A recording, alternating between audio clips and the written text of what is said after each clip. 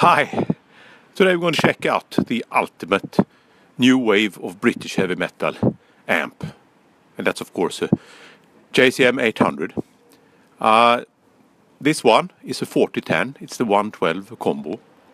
Uh, it usually has a G1265 in it. Um, JCM 800 had G12 65, uh, G12 80, G12 H100 and uh, and uh, G12T75 and G12M70 in them. So there was lots of speakers. But I think the G1265 and the G12H100 is the two most uh, new new wave uh, like speakers, and and the G12H100 uh, is the most aggressive one. So let's check it out.